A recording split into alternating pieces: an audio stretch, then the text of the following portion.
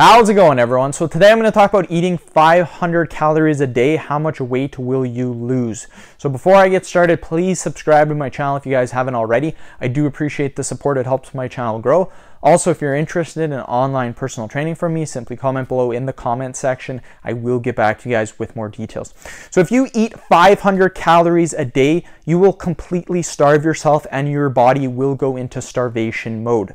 Now, what will happen is that your body won't actually lose weight. It will slow down your metabolism and you will probably stay the same weight. Now, this is an awful approach if you're trying to lose weight. If you want a better approach, I will give you guys some tips below. Again, the tips I provide always give you the fastest results to lose the weight. I never tell you the slowest ways, only the fastest ways to hit your goals. So how can we lose weight?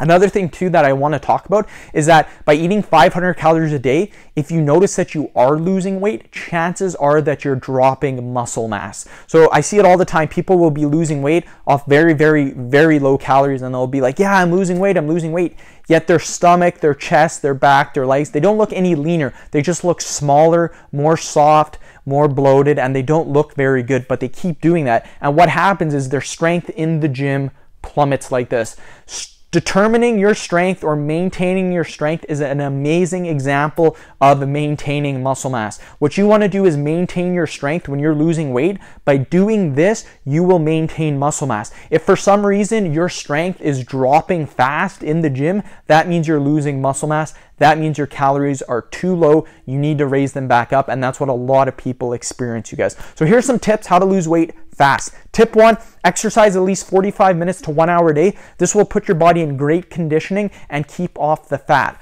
Trust me, this is a good approach if you want to lose weight.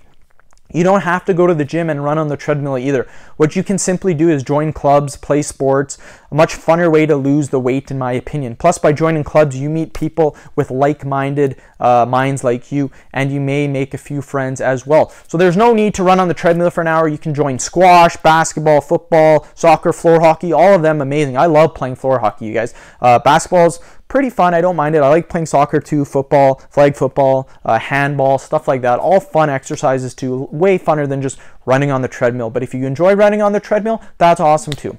Second tip, watch what you eat. This is probably the most important tip. What you eat is what you become. If you eat healthy foods, then your body will look good. If you divulge into unhealthy and processed foods and that's all you eat, then your body will show it. So make sure you're watching what you, you're eating. That isn't to say everything has to be 100% healthy. That's not what I'm trying to say. You can do an 80% healthy approach and a 20% dirty approach to give your life some balance. This is what I do personally, and it gives me good balance and allows me to live a normal life. But if we're doing that, you need to track your calories. And for anyone, I recommend they track their calories. Tip three consistency. Rome wasn't built in a day. Don't expect you to look like a supermodel after a day. It takes time, weeks, months, years to get a Greek body looking um, like that. So uh, give it time and you will be proud of yourself eventually. So end the video. Thank you guys so much for watching. Please subscribe to my channel if you haven't already. Please like the video and share it. Thanks again.